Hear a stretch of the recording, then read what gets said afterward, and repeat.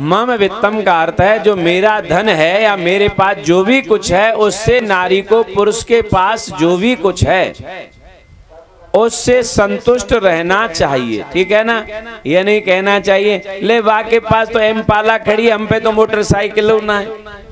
कभी भी गृहिणी को दूसरे के सुख को, और एक और मज़े की बात, प्रैक्टिकली बात, जब महिलाएँ किसी पुरुष की प्रशंसा या किसी पुरुष के सुखों की चर्चा करने लगे तो ये कन्फर्म मान लेना वो महिला गलत रास्ते पर चल चुकी है। डेफिनेट कन्फर्म ठीक है?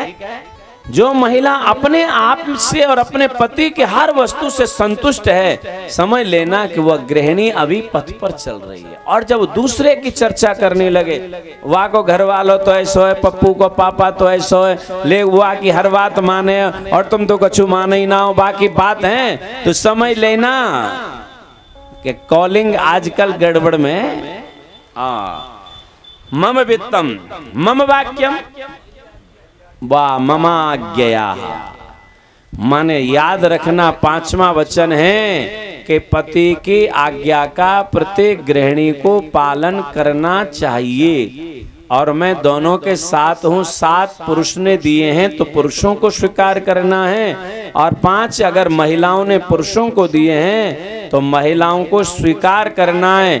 ये बारह वचन अगर बढ़िया रहे तो बारह बामन देर में होंगे।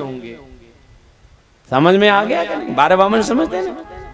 अगर बारह बचनों को स्त्री पुरुष ने स्वीकार कर लिया तो बारह बामन टाइम से होंगे और नहीं तो बीच में कब हो सकते।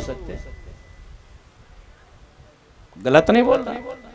तो इन पाँच और सात को प्रत्येक गृहिणी और गृह स्वामी को स्वीकार करना है। भैया